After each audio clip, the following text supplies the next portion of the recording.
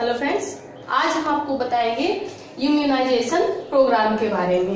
Immunisation programme हमारे Indian government के द्वारा सबसे पहले ईपीआई के रूप में शुरू किया गया था। ईपीआई का जो फुल फॉर्म होता है वो होता है एक्सपेंडिंग प्रोग्राम ऑन इम्यूनाइजेशन जो जनवरी शुरू किया गया था। और इसका जो मेन एम था वो ए, वो था सिक्स किलर डिज़ीज़ से प्रिवेंशन प्रोवाइड करना। Prevention from six killer disease जो भी अंडर फाइव ईयर चिल्ड्रन थे और प्रेग्नेंट लेडी थी, उनको इन सिक्स किलर डिज़ीज़ से प्रिवेंशन प्रोवाइड करना। वो सिक्स किलर डिज़ीज़ कौन कौन से थे? Polio diphtheria pertussis tetanus TB and measles ये सिक्स किलर डिज़ीज़ थे जिससे प्रिवेंशन प्रोवाइड करने के लिए इंडियन गवर्नमेंट ने expanding programme on immunisation start किया। आफ्टर देन 1985 में यूनिवर्सल इम्यूनाइजेशन प्रोग्राम लॉन्च किया गया था इंडियन गवर्नमेंट के द्वारा। अब हम आपको बताएँगे कि वैक्सीन का स्टोरेज किस टेम्परेचर पे किया जाता है। कौन सी ऐसी वैक्सीन है जिनको ज़ीरो डिग्री सेंटीग्रेड से कम टेम्परेचर पे स्टोर करते हैं और कौन सी ऐसी वैक्सीन है जिनको ज़ीरो डिग्री सेंटीग्रेड से एबव पे स्टोर करते हैं? तो आइए देखते हैं। देखिए आपको हम बताते हैं कौन सी वैक्सीन किस डिग्री पे स्टोर करनी चाहिए। तो यहाँ पे ज़ीरो डिग्री सेंटीग्रेड बिलो ऐसी वैक्सीन जो ज़ीरो डिग्री सेंटीग्रेड से कम पे स्टोर की जाती हैं, उनमें है DPT DT TT and hepatitis B ये चार वैक्सीन ऐसी हैं जिनको ज़ीरो डिग्री सेंटीग्रेड से कम तापमान पे हम स्टोर करते हैं। आफ्टर ज़ीरो डिग्री सेंटीग्रेड से एबव कौन सी ऐसी वैक्सीन है जिनको ज़ीरो डिग्री सेंटीग्रेड से एबव पे स्टोर करते हैं? इसमें है एमएमआर मिजल्स और बीसीजी ये तीन वैक्सीन ऐसी हैं जिनको हम ज़ीरो डिग्री सेंटीग्रेड से एबव टेम्परेचर पे स्टोर करते हैं। अब एक इम्पोर्टेंट क्वेश्चन यहाँ ये भी बनता है, बहुत बार एग्ज़ाम में आ भी चुका है, कि कौन सी ऐसी वैक्सीन है जिसे माइनस ट्वेंटी डिग्री पे स्टोर किया जाता है? माइनस ट्वेंटी डिग्री सेंटीग्रेड पे ओरल पोलियो वैक्सीन को स्टोर किया जाता है। ये एक इम्पोर्टेंट क्वेश्चन है जो अक्सर एग्ज़ाम में पूछा जाता है कि किस वैक्सीन को माइनस ज़ीरो डिग्री सेंटीग्रेड पे हम स्टोर करते हैं। तो हमने यहाँ पे लिखा हुआ है ओपीबी को। अब हम डिफाइन करेंगे टाइप ऑफ़ वैक्सीन के बारे में कि वैक्सीन कितने टाइप्स की होती है। वैक्सीन को मेनली फाइव टाइप्स में डिवाइड किया गया है और इन टाइप्स को आप कैसे याद कर पाएँगे, इसके लिए एक बहुत ही इजी ट्रिक है, जिसको हम बताएँगे अभी। इसके लिए आप हमारे साथ जुड़े रहिएगा। वीडियो को ज़रूर देखिएगा तभी आपको समझ में आएगा कि हमने यहाँ पे क्या इंपॉर्टेंट चीज़ें आपको बताई हैं। तो सबसे पहले हम देखेंगे लाइव अटेन्यूएटेड वैक्सीन के बारे में। ये वैक्सीन कौन कौन सी है? इसमें आता है BCG OPV yellow fever chicken pox rubella influenza measles and epidemic type vaccine ये जितनी भी वैक्सीन हैं सभी लाइव अटेनुएटेड वैक्सीन में आती हैं। लाइव एटेनुएटेड वैक्सीन आखिर क्या होती हैं? ये वैक्सीन ऐसी वैक्सीन होती हैं जिन्हें हम लाइव ऑर्गेनिज्म से बनाते हैं लेकिन इसमें हम करते क्या हैं इसमें जो भी हमारा पैथोजेंस होता है, जो भी हमारा पैथोजेनिक एजेंट होता है, हम उसको वीक कर देते हैं हम उसको वीक कर देते हैं जिसकी वजह से वो ग्रो नहीं कर पाता है। और ये जितनी भी वैक्सीन है, सभी हम किसी लाइव ऑर्गेनिज्म से तैयार करते हैं। अब इसको जो याद करने का ट्रिक है, वो ये है कि सबसे पहले हम ये थ्री वर्ड्स लेंगे।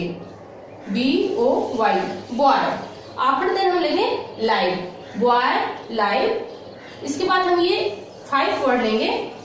सी आर आई एम ई याद रखिएगा, जितनी भी वैक्सीन है, हम उसका सिर्फ़ पहला अक्षर ही लेंगे, जो पहला इसका लेटर होगा, हम सिर्फ़ उसी को लेंगे। तो हमने यहाँ पे लिया पहला अक्षर, बो बी ओ, वाई, बॉय। ये हमारी वैक्सीन लाइव और उसके बाद C, R, I, M, E means crime boy live crime इसको हम अगर याद कर लेते हैं तो हम इजिली ये याद कर पाएँगे कि कौन सी हमारी वैक्सीन है जो लाइव एटेन्यूएटेड वैक्सीन में आती है। बस एक छोटा सा ट्रिक है जो आपको याद करना होगा। बहुत ही इजी है। वार लाइव क्राइम हो गया? अब हम देखेंगे सेकेंड वैक्सीन जो है किल वैक्सीन इसमें इसमें फोर वैक्सीन आती हैं। One rubella second injectable polio three plague and fourth pertussis यहाँ पे भी आपने देखा होगा कि ओपीबी ओरल पोलियो वैक्सीन यहाँ पे भी पोलियो थी और यहाँ पे भी पोलियो है. डिफरेंस सिर्फ़ इतना है कि ये ओरल पोलियो वैक्सीन है. ओरल पोलियो वैक्सीन है, जिसे हम माउथ के थ्रू देते हैं, लेकिन यहीं पे ये इंजेक्टेबल पोलियो वैक्सीन है. अब यहाँ पे याद रखने वाली बात ये है कि जो ओरल पोलियो वैक्सीन है, ये साबिन के द्वारा सर्च की गई थी। और यहाँ पे इंजेक्टेबल पोलियो इसको याद करने का एक इजी वे है इजी ट्रिक है कि जैसे नीडल हमारी बॉडी में इंटर करती है तो हमें एक शॉक लगता है। तो हम शॉक से याद कर सकते हैं कि जो इंजेक्टेबल पोलियो वैक्सीन होती है, वो शॉक के द्वारा इन्वेंटेड की गई है। तो देखा आपने कितना इजी है, इसको डिफाइन करना ओपीपी साबिन और इंजेक्टेबल पोलियो वैक्सीन सॉक अब हम देखते हैं third number vaccine killed vaccine को किल्ड इनएक्टिवेटेड वैक्सीन भी कहते हैं, जिसमें जो पैथोजेंस होते हैं, उनको हम हीट के द्वारा रेडिएशन के द्वारा डिस्ट्रॉय करते हैं। अब हम देखेंगे अपना थर्ड नंबर का वैक्सीन थर्ड नंबर में हमारा आता है टॉक्सॉइड टॉक्सॉइड वैक्सीन जैसा कि नाम से ही पता है टॉक्सॉइड मतलब हानिकारक। इसमें आता है डीटी एंड टीटी इसको बहुत याद करने का आसान तरीका है। D and T diphtheria toxoid T से टॉक्साइड और यहाँ पे टिटनस टी से टॉक्साइड तो इसमें कोई ऐसा हार्ड वर्ड नहीं है कि आप याद नहीं कर पाओगे। आप इजिली डीटी याद रखते हो तो डीटी से आप डीटी भी डिफाइन कर लोगे और टीटी भी डिफाइन कर लोगे। फोर्थ हमारा आता है cellular fraction vaccine cellular fraction vaccine. ये वो वैक्सीन होती है एग्ज़ाम्पल के तौर पे। जैसे मेनिंजोकोकल वैक्सीन। ये वो वैक्सीन होती है जिन्हें सेलुलर फ्रैक्शन के थ्रू तैयार किया जाता है। अब फिफ्थ हमारी जो वैक्सीन है, वो है कॉम्बिनेशन वैक्सीन। इसमें आता है DPT MMR and DT friend mostly जो हमें क्वेश्चन बनते हैं, वो सिर्फ़ थ्री वैक्सीन से ही बनते हैं. लाइव वैक्सीन किल्ड वैक्सीन और टॉक्साइड वैक्सीन ये थ्री मोस्ट इम्पोर्टेंट वैक्सीन होती हैं। अगर आप इन तीनों को अच्छे से याद कर लेते हैं, जो हमने यहाँ पे ट्रिक आपको बताया हुआ है, अगर आप उसके थ्रू उसको तैयार कर लेते हैं तो आप इजिली अपने क्वेश्चन को कर लेंगे। चाहे वो क्वेश्चन जहाँ से भी पूछे जाए। फ्रेंड्स हम आपको बताएँगे एक ऐसी चीज़, जो जितने भी वैक्सीन वायर होते हैं, उनमें एक इंडिकेटर होता है। वो इंडिकेटर किस लिए होता है और उसको क्या कहा जाता है, उसका वर्क क्या होता है, क्या फ़ंक्शन करता है, उसके बारे में हम आपको बताएँगे। क्योंकि वैसे हर व्यक्ति को ये पता नहीं रहता है कि वैक्सीन जो वैक्सीन होती है, वो किस टेम्परेचर पे रखनी चाहिए, किस टेम्परेचर पे नहीं रखनी चाहिए, और हम कैसे जानेंगे कि ये वैक्सीन हम यूज़ कर सकते हैं या नहीं यूज़ कर सकते हैं। तो जो वैक्सीन का वायल होता है, आप उसको देखकर इजिली आइडेंटिफाई कर पाएँगे कि ये वैक्सीन सही है या या फिर खराब हो चुकी है? तो हम आपको यहाँ पे बताते हैं, जितने भी वैक्सीन वायल होते हैं, उनमें एक मार्क्स होता है।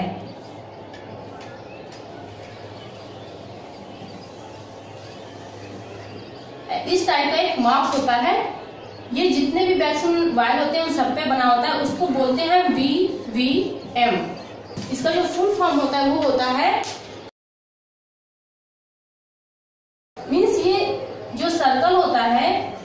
अंदर एक स्क्वायर लाइक स्ट्रक्चर बना होता है और ये कलर होता है। ये जो आउटर जो होता है वो डार्क कलर का होता है। डार्क का होता है और जो इनर सरफेस होता है वो लाइट कलर का होता है। लाइट कलर का होता है। जैसे ही हमारी वैक्सीन जब ये वैक्सीन हमारी फिर से निकालते हैं हम तो उसमें ये कंडीशन होती है कि जो सर्कल के अंदर वाला एरिया होता है, वो डार्कर होता है और जो स्क्वायर के अंदर वाला एरिया होता है, वो लाइट होता है। लेकिन जैसे ही हमारी वैक्सीन थोड़े टेम्परेचर पे हम उसको, जैसे बाहर के इन्वायरमेंट पे रखते हैं तो उस कंडीशन में धीरे धीरे इसका कलर बदलने लगता है। जैसे ही इसका कलर बदलना शुरू होता है तो इस बात को इंडिकेट करता है कि अब हमारी वैक्सीन ज़्यादा देर तक स्टोर नहीं रखी जा सकती है। जैसे ही ये जो मॉनिटर होता है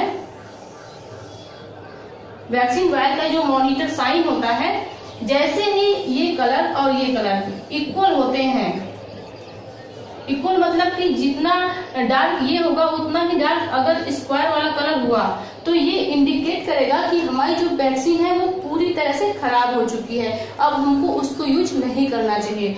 अगर हम बिना देखे और बिना अगर हम बिना देखे वायर का जो इंडिकेटर होता है, अगर हम उसको बिना देखे, बिना मॉनिटर के वैक्सीनेशन करते हैं, उस कंडीशन में टॉक्सिक शॉक सिंड्रोम जैसी कंडीशन होने के चांसेस रहते हैं। अभी हाल ही में एक केस आया था जिसमें वैक्सीनेशन के वैक्सीनेशन के समय शायद बीबीएम को मॉनिटर नहीं किया गया था और उस कंडीशन में जो वैक्सीन थी, वो पूरी तरह से खराब हो चुकी थी, जिसकी वजह से बहुत सारे बच्चों की जान चली गई। अगर आप एक नर्स हैं तो आपकी रिस्पॉन्सिबिलिटी तो बहुत ज़्यादा है, लेकिन अगर आप एक आम व्यक्ति हैं, जो नहीं जानता इस फ़ील्ड के बारे में तो भी आपको इस साइड के बारे में समझना बहुत ही इम्पोर्टेंट है। आप इसके थ्रू इजिली जान सकते हैं कि कौन सी वैक्सीन आपके लिए यूजफुल है और कौन सी वैक्सीन आपके लिए हार्मफुल है।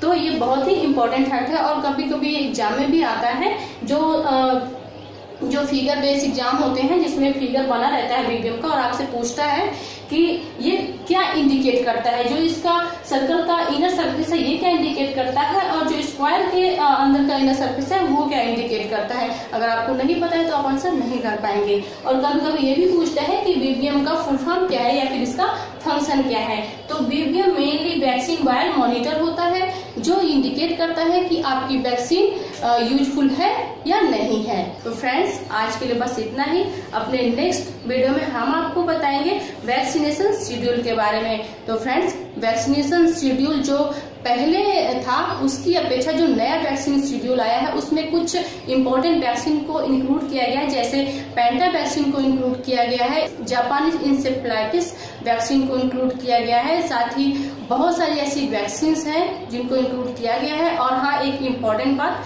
कि हम आपको बताएँगे वैक्सीन का जो निर्धारण है वो जनरेशन के अकॉर्डिंग किस जनरेशन में किस वैक्सीन को रखा गया है। तो इसके लिए आपको देखनी होगी हमारी next video thank you so much